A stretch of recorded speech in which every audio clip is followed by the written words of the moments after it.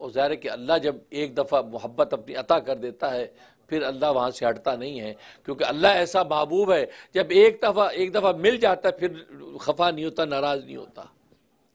क्यों दुनिया के अंदर तो इसलिए हम नाराज़ होते हैं ना, कि पता नहीं कि वो क्या करेगा।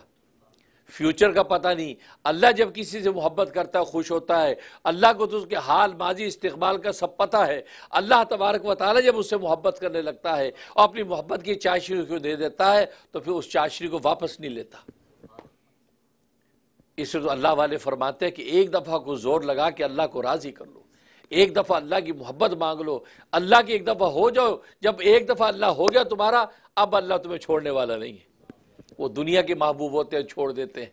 क्यों? इसलिए कि उसको, हमें उसके हाल, माजी मुस्तबाल का पता नहीं कि कल को क्या करेगा। लेकिन अल्लाह तबारक व ताली जब राज़ी होता तो फिर नाराज़ नहीं होता।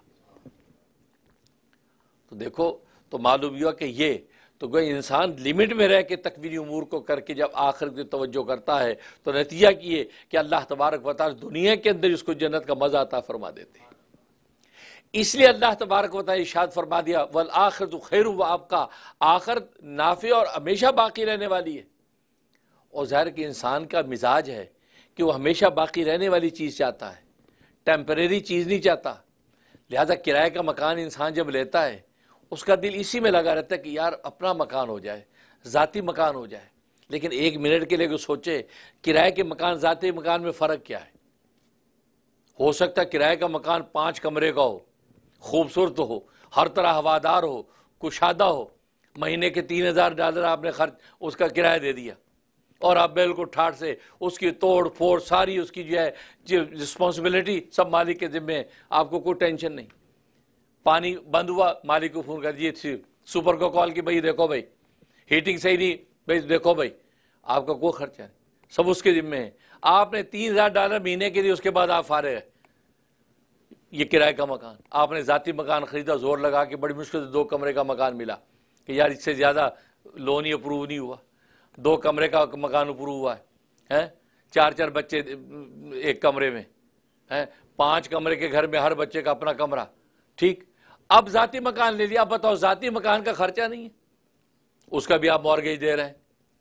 अब एक आदमी के आप पहले किराएदार थे, अब एक कंपनी के किराएदार बन गए।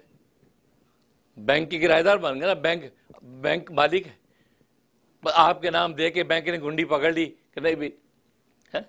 हमारे हाथ में सब कुछ है। लो जी, आप हर महीने उसको जब मॉर्गेज दे रहे हैं गोया कि आप किराया भी दे रहे हैं तो दोनों मकानों फ़र्क क्या हुआ? पहले आप ज़्यादा ठाठ से थे, अब सिर्फ़ एक तस्वुर है जाती मकान का कि हमारा अपना है भाई।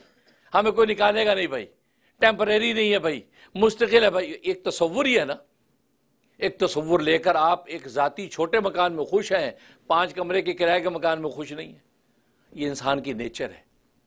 इंसान की नेचर, हालाँकि अगर वो अकलमंद सोचे तो किराए का मकान बेहतर है कि जहाँ कुछ भी नहीं ली साइन किया, अपना किराया भी दिया और ये चलते जाते जा रहे बिल्कुल इसी तरीके से अल्लाह तबारक वाली ने तभी इस आयत के अंदर हकीक बयान की, ये दुनिया जिससे तुम दिल लगाते हो, ये फ़ानी है, टेम्परेरी है, जब चाहे यहाँ से उठा दिए जाओगे। दुनिया छीन जाएगी या तुम छीन जाओगे, हमेशा रहने की चीज़ नहीं है। और फिर नाकिस है।